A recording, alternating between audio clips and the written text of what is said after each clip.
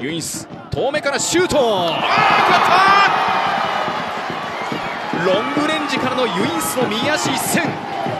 キーパーの位置をよく見ていました。ドライブがかかったシュートがゴールに吸い込まれて FC 東京3点目。一気呵成に後半の12分で3点を取りました。ユインス今日2点目。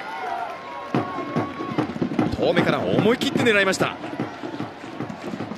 少し前にポジションを取っていたキーパーの土井でしたがここはドライブがかかったシュート触れず。